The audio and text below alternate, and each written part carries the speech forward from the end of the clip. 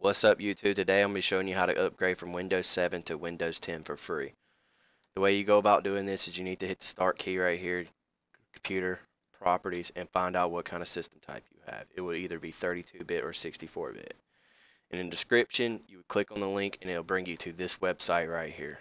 It's an actual Microsoft website. You scroll down, you either download the 32-bit version or the 60-bit version for your PC. Once you start the installation, this thing will pop up, download it, and you pretty much self-explanatory from here. If you have any questions or anything, feel free to message me over YouTube. I'm out. Please like, comment, and subscribe. Thank you. Bye.